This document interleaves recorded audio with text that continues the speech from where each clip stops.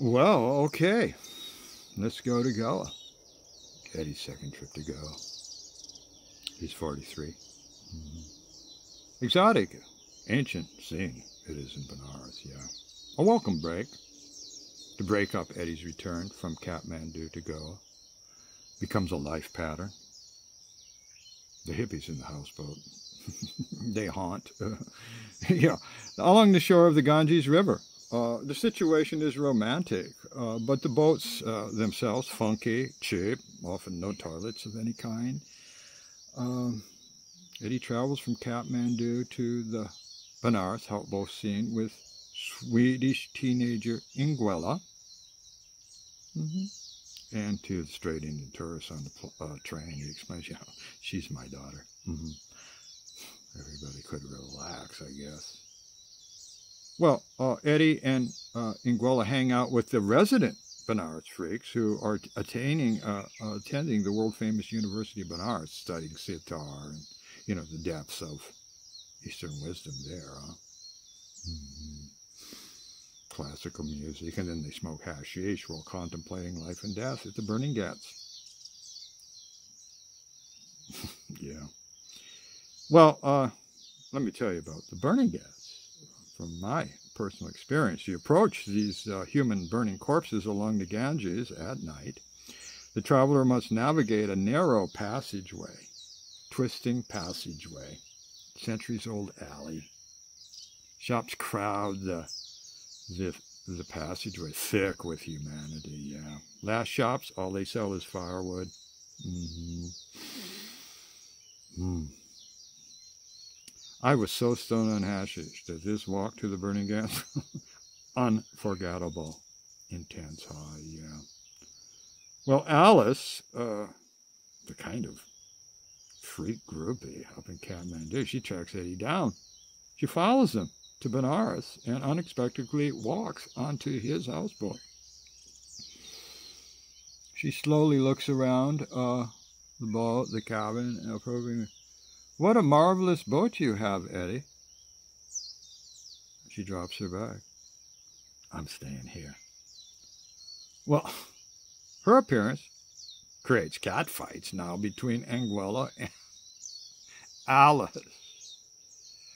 Alice complains, you know that Anguilla, she's not aware of Eddie's greatness. She's not devoted to him at all, really. Uh, Alice projects onto Eddie uh, that he is an evolved, great uh, endeavor, uh, avatar, uh,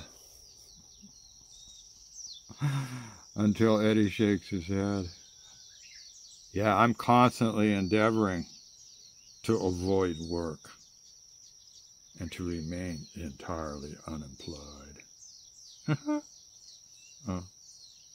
Well, wow, the houseboat Dennison's surprised when a Swedish diplomat this guy's wearing a suit and tie. What's he doing around here? Houseboat full of junkies? Oh, oops. Uh, Inguella's family in Sweden fearful? She is dying from drug abuse. Oops. She's a legal minor. Inguella has no choice but to surrender and be deported back to Sweden. Now Eddie objects. Look, just let her stay here. The girl is just fine. You know, please. Uh, mm -mm. Well, that's it. Uh, uh, he, he says, look, we've reached the end of our road together. Give me a hug. Why is Alice smiling so demurely as Inguella is led away by the Swedish diplomatic police? Why is she licking her lips? Well, from Benares, uh, seasoned India freaks uh, travel by train to Bombay. Yeah. India, the largest train system in the world. And the cheapest, yeah. From Bombay, Eddie takes that overnight Chillum ferry to Goa. You've heard all about that already. Remember? To his beloved Colva Beach for a second winter season. Yeah, he stays with the same Goan family. I mean, went up to sort out some stuff with American Express, Bombay Freakhouse, up to Kathmandu, list trips, and then he's back at the beach. Where he was last winter. Oh, yeah. Uh, yeah, the Melongoans invite him to stay. Uh, they invited him, like, hang around for a few days. Well, he stayed three months. Great. Uh, and they begged him not to go to Bombay. People do fall in love with Eddie. Natives, Europeans, whatever. He's just that kind of tender person. Yeah. Mm -hmm. They sheltered him. Yeah, last winter, huh?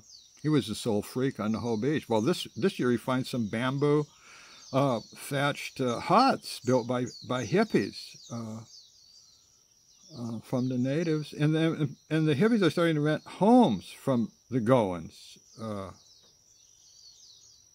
yeah. Um, this is when the scene became bourgeois according to Eddie. First, everybody built their own palm leaf uh, thatched huts, like I did. And then later, you know, I mean, $5 a month? Why not? Have your own house.